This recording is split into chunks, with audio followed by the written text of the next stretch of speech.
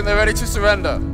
INA की बागी फौजियों पर अंग्रेज़ देशद्रोह का मुकदमा चलाएँगे उन तीनों के बचने के चांसेस कम हैं ये कोई आम केस नहीं कोर्ट मार्शल है बोला भाई ये केस आप कांग्रेस के लिए नहीं सुभाष बोस के लिए लड़ी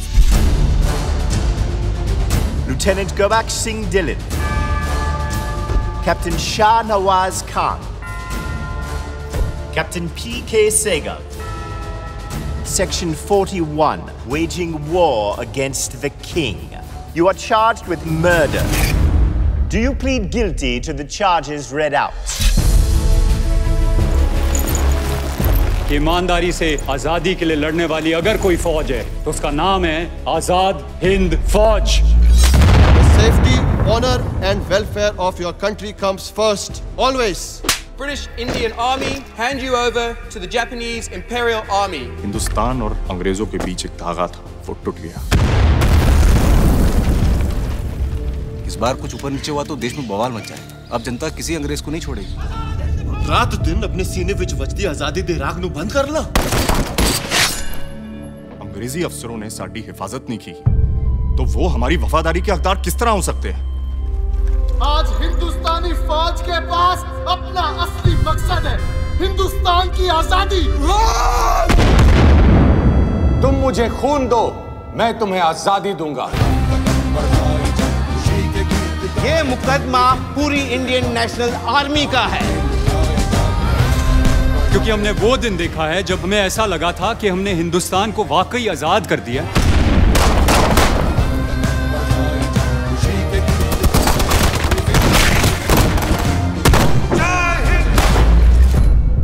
देश की आज़ादी की लड़ाई कोर्ट में लड़ी जा रही है और इस वक्त पूरा देश एक साथ तैनात है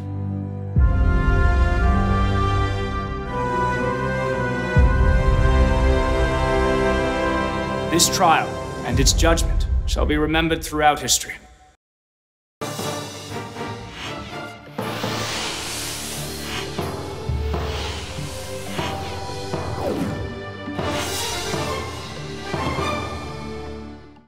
Hello and welcome. I'm Amritanshu Rai and you're watching Law of the Land on Rajya Sabha TV. Today we bring to you the Surrogacy Regulation Bill 2016.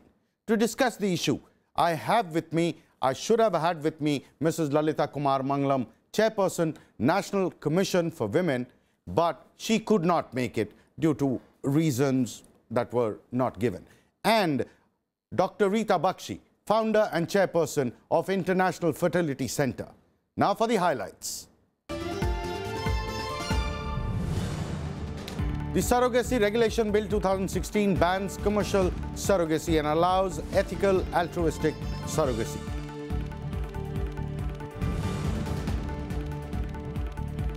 The bill seeks to regulate surrogacy by constituting surrogacy boards at national and state level.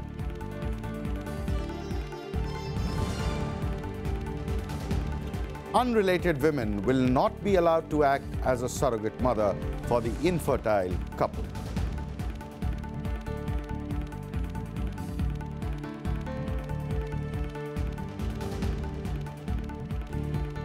The Surrogacy Regulation Bill 2016 bans commercial surrogacy but allows surrogacy for non-commercial needs. The bill attempts to end exploitation of surrogate mothers and seeks to protect the rights of children born out of surrogacy. The bill seeks to regulate surrogacy by constituting surrogacy boards at national and state level. Due to the rise in the incidence of unethical practices of surrogacy, exploitation of surrogate mothers, abandonment of child born out of surrogacy, and import of human embryos and gametes, it has become necessary to enact a legislation to regulate surrogacy services in the country. Uh, it's a very good move, and I think it was a need of the hour.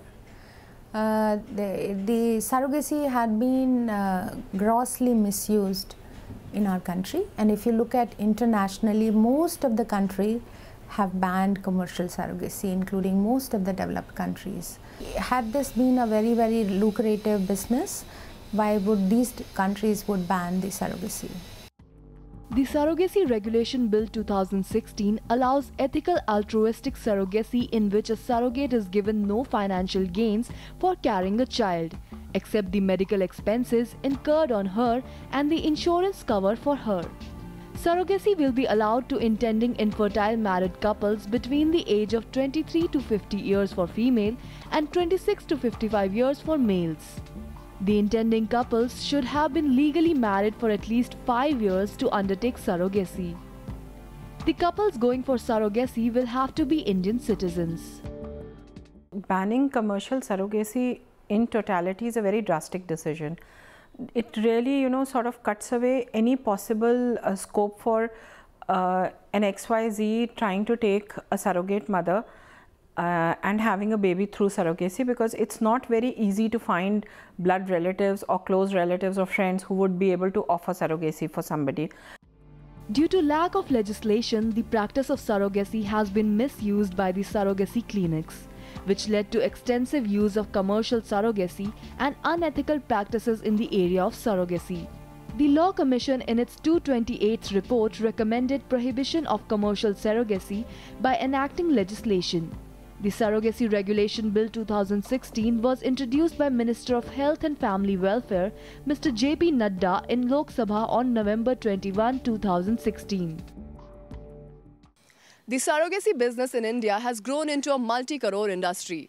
Although the bill aims to effectively protect the rights of surrogate mothers and children born through surrogacy, but it also hurts the sentiments of those infertile parents who wish to have biological children but are unable to find surrogates within the close relations.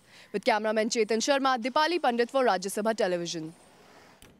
Before going in for surrogacy, a certificate of eligibility and certificate of essentiality is what is required for the person who wants to adopt. Ma'am, um, uh, my question to you is, uh,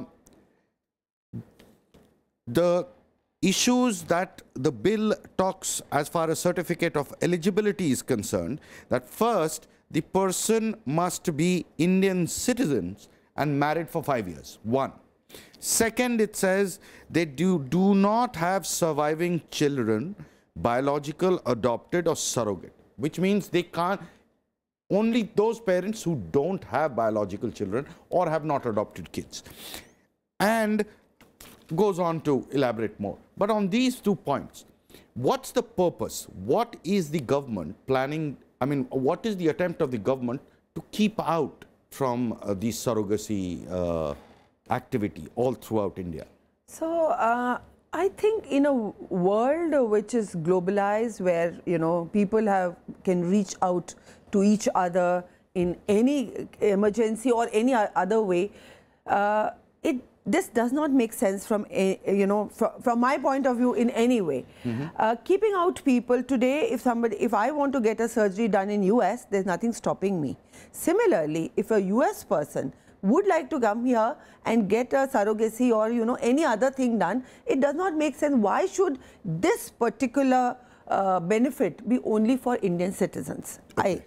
I, I think it should be, especially uh, I'm also against because uh, adoption is allowed to foreigners. Mm -hmm. Adoption is allowed to singles. Mm -hmm. Now the the concept that you know people are coming here who may be terrorists, who may be you know not the right people who are yeah. come here does not make sense because if why can't we make laws as stringent as in adoption and yet let the foreigners come here and do surrogacy? Ma'am don't you think it the attempt of the state of the government is to regulate or keep out the commercial aspect of a good deed from i mean surrogacy is a good deed. Absolutely. That is done to provide children or kids to people who do not have their own or and would like to have someone absolutely, of their own. Okay?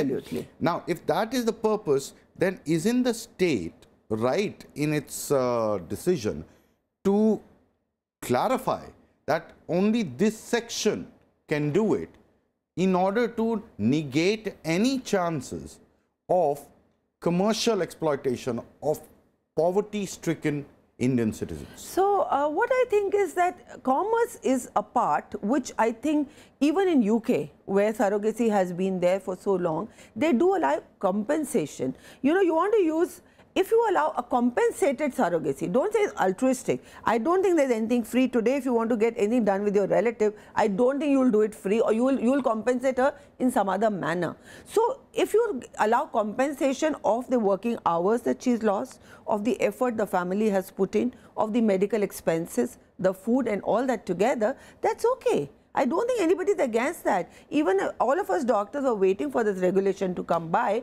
but we were not. This is like a ban. Hmm. I think clearly speaking, this is more like saying that please don't do it at all. Correct, correct. You know, correct. and that also That's goes- the attempt. That's the attempt. Now, finding a close relative to be truthful and honest, I don't think is going to be easy for any single person.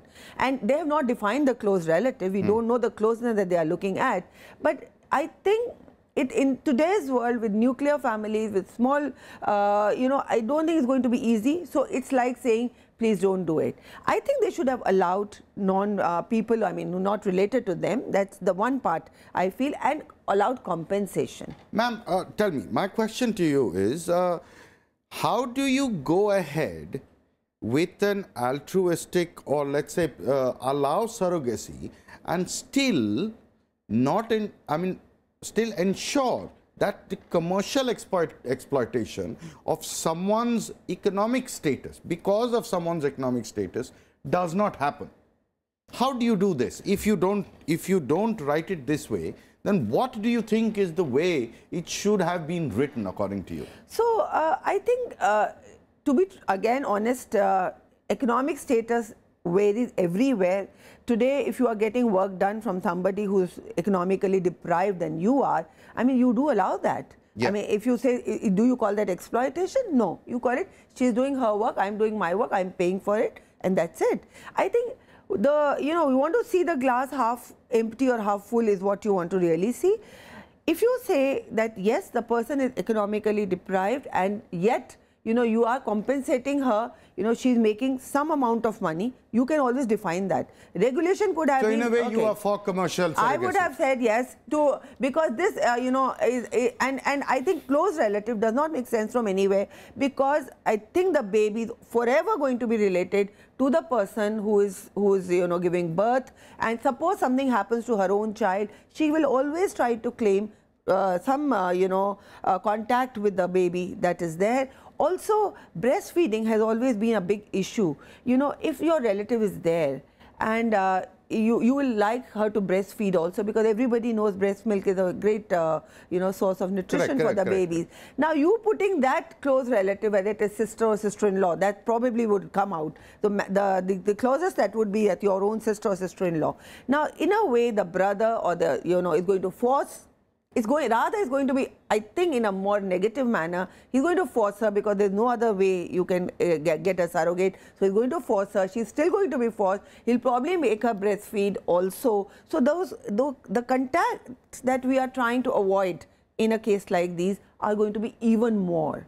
And she's always going to claim. And you know i don't think it'll ever be clear at all. So, uh, what this bill essentially does is tries and restricts the surrogacy activity to such an extent that people are forced to move towards adoption and not opt for surrogacy because there are several levels of compliance and certification that the uh, adopting parents would like. Is that your point? I, I, I agree with that. And adoption, I think, is a great, great idea for people who want to adopt. In a very democratic setup, we, we should give everything. Yes, people who want to adopt, go ahead. If you're looking for your genetic babies, go ahead. So, you know, it's like a it's like a basket. So all the options, according to you, should there. be open. Should be there. And I agreed. You know, you could have made a, a national board where the parent can go there. They will only tell them, why don't you go and adopt? Let them put them through adopt. If still somebody is still wanting their own genetic babies, why not? Ma'am, but all other aspects may be convincing, but the state's concern was simple misuse of surrogacy. How do you regulate that? And also, the clinics, the doctors, the entire uh, setup that is associated with that activity, somewhere or the other ends up exploiting the system for its needs and for financial gains. Now, how do you how can you manage that? Yeah. Now, you know, because see, when whenever something starts, it does, it's unregulated. Regulations could have been that, you know, you make a central authority, the parents can come there, let them verify. There are always ways to verify that the parent is okay. Then the surrogate can also go there. She can be registered there that she's not done surrogacy many, many times, once in her lifetime, perfectly okay she with her Aadhaar, PAN, whatever, yeah, you know, yeah. she gets registered. The money can also go to the board. The, the board can pay up, you know, to the surrogate to be sure that, you know, the money is in her hands. The bank accounts, see, clinics like us, we already have bank accounts. Anybody can go and check. It goes in her name. She collects it, then nobody else can take it. But then to regulate all, every single clinic in the, uh, uh, in India, you can do that. Let the money be there, let Got it, it be paid there. That's it. Time for us to head into a break. When we return, we will talk about the other provisions of the bill.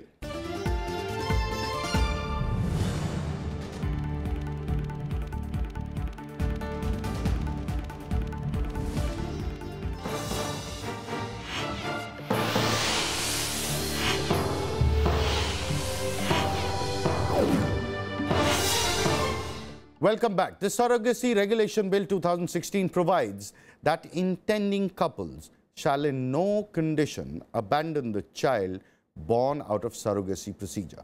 The bill ensures that the child born out of surrogacy procedure gets same rights and privileges as that of a child born biologically. The bill provides that the surrogate mother should be a close relative of the intending couple. The surrogate mother has to be a married woman with a child of her own. The bill also specifies that the age of the surrogate mother should be between the age of 25 to 35 years. It also provides that the surrogate mother shall be allowed to act as a surrogate mother only once. Only people who really need surrogacy will be coming forward. This because people who do surrogacy for social indication will not be able to have surrogacy. And secondly, uh, most of the patients who require surrogacy uh, will be you know will be uh, motivating their family members and the friends to come forward and help. So it will be most of a social cause rather than a business. If somebody wants to because if you're not compensating a lady for to be a surrogate the money part is totally taken care of from this bill the bill prohibits any person, organization, surrogacy clinic, laboratory or clinical establishment of any kind to undertake commercial surrogacy or issue advertisement regarding commercial surrogacy. It prevents abandonment of child born through surrogacy or exploitation of the surrogate mother. The bill also prohibits selling of human embryo or importing of human embryo for the purpose of surrogacy everybody wants that there should be a bill, there should be a regulation, but a regulation which absolutely takes away the rights, takes away fair compensation for women who are doing the procedure, that is something which is absolutely opposed. The bill says only your sister or your sister-in-law can do it. If if i have a sister her age has to be specifically between 25 to 35 she uh, has to come with me to the court. We have to take a permission from the court. Then we have to go and get ourselves certified as infertile people. No doctor can do that uh, certification because these kind of things just don't exist Violation of the law will attract punishment with imprisonment of minimum 10 years and maximum fine up to 10 lakh rupees. The bill provides for registration of surrogacy clinics. This will be possible only after the appropriate authority is satisfied that the clinic is in a position to provide facilities and can maintain equipment and standards. The clinic will also be checked whether they have a specialized manpower, physical infrastructure and diagnostic facilities.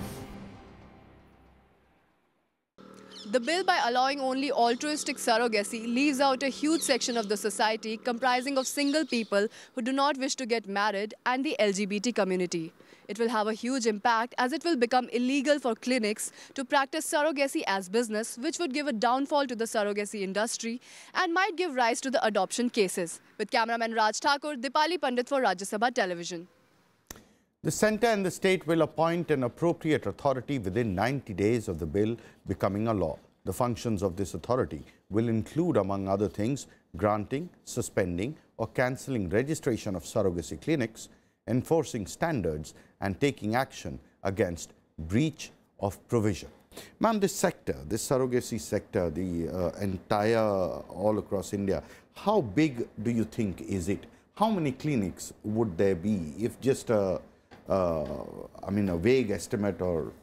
Uh, I think um, IVF itself is, you know, on the rise and uh, around, uh, I would say that um, if there are about 800 clinics all over India doing IVF, then about um, uh, 200 would be doing surrogacy. Surrogacy.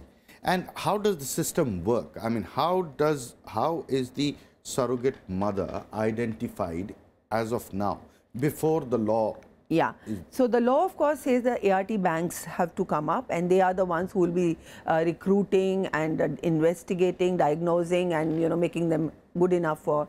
At the moment, there are agents and there are people some some are banks, some are agents who get the surrogates.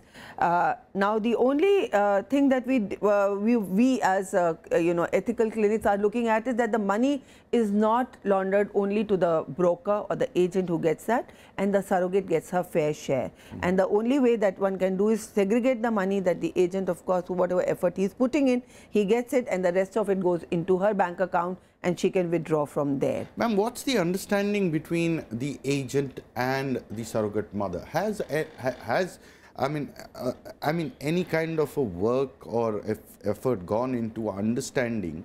Is it purely an economical uh, deal, or is does there is there any other reason also? So uh, it's uh, not at all only economical. I mean that is a, a part. You know the effort that the agent is going to you know the agent takes you know for getting her from home to here all the time, looking after her, seeing that she is not undergoing any abuse whatsoever. Uh, looking at you know any other problem that she may be having. So he deserves a small share. Mm -hmm. the the the worry of the government and the worry that some uh, may be happening is that the large share is taken by him and a small share goes to the surrogate. Mm -hmm. so to see that i think the only way is to open bank accounts to all of them. I don't think these women are very very intelligent. Lawyers should be there. Lawyers appointed for the surrogate herself and for the intending couple. I, I get it, separate. But what's the reason for any person, any individual, any uh, surrogate to come forward and offer herself for the entire? One is money. Yes. Is there any other reason? I think uh, uh, somewhere philanthropy, in, especially in a country like ours, also plays a role. Uh, I think doing one good deed, you know, in and, and giving a baby to somebody who is infertile i don't think can be anything better. Somewhere they are counseled also and they are they are uh, the thought is also there that you know that if they are doing this their own babies and their own homes and their own will be blessed. What what about cases where the child born out of the entire procedure is not able bodied is specially able is probably not what the parents were looking for in a situation like that, is it that the child, children or the uh, kids born out of that system are abandoned? And the cases have been pretty high. And I don't think they have been high at all. Let me say the RTI has been filed uh, to the government and the government of India has written that not a single case, you know that you can you can see that uh, on the RTI they've written not a single case of exploitation has been brought to their notice. Uh, if uh, most of the abnormalities are detected during the antenatal examination, rarely happens, but in it's not common. So it's in a rare case that it may happen.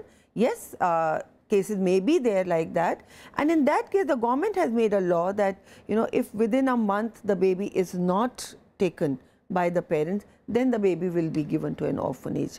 But let me tell you, it is extremely rare, like in any other antenatal no, even women. if one case, ma'am, yes, don't you think yes, I agree. I agree on uh, that. So we really were looking, we were looking for regulation on that, and I'm very happy that they have, you know, some good points of the bill are the insurance that they have given to the surrogates, the the that they have made once in a lifetime, so they can't do surrogacy again and again, and that so, that no child will be abandoned. But you ever. do agree on this point. Yes. There are certain and unethical aspects that can't really be tackled without banning uh, commercial activity. Do you No, personally, I don't think that you you can. There are so many commercial activities that go on. You know, whether it's a real estate bill or any other bill.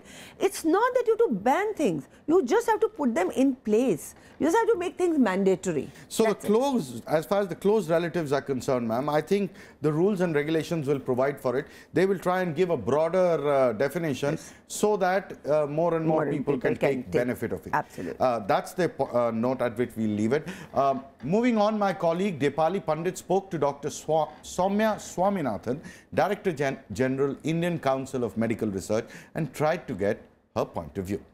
The bill prohibits commercial surrogacy. How do you look at it? Yes, this bill was basically um, designed to protect uh, vulnerable women who are currently being exploited by the situation in India, where India had literally become the commercial surrogacy hub of the world because so many countries in the world uh, either completely disallow surrogacy or ban commercial surrogacy. So we found a lot of people coming to India and obviously we have a lot of poor women who are willing to undergo this uh, pregnancy for the sake of a good payment that they get. And uh, what people don't realize is that pregnancy also has its own health risks and complications. And when something goes wrong, either with the baby or the mother, then there's nobody really to take responsibility. Bill excludes unmarried citizens and LGBT community from surrogacy. How do you look at it? In India, as you know, um, gay marriages are not recognized as marriages uh, single people who are gay or, or heterosexual or, or lesbian are actually allowed to adopt children. So, there is an option available to such people to have a child through adoption. But it was felt that to undergo surrogacy, you need, uh, you know, because you are really utilizing services of the womb of another woman and therefore the benefits should really outweigh the risks that are associated with this process and therefore it should be kept limited. However, I think these are things which are still going to be debated. The bill has gone to parliament and the views of uh, many different stakeholders would be expressed and we'll have to see what the final version of the bill says. Thank you, ma'am, for joining us on this discussion. It's time for us to end the show. You can email your suggestions and comments to law.rstv at gmail.com. You can also watch our shows on the RSTV page of YouTube. We'll be back with a new issue and a new episode. Keep watching Rajya Sabha TV.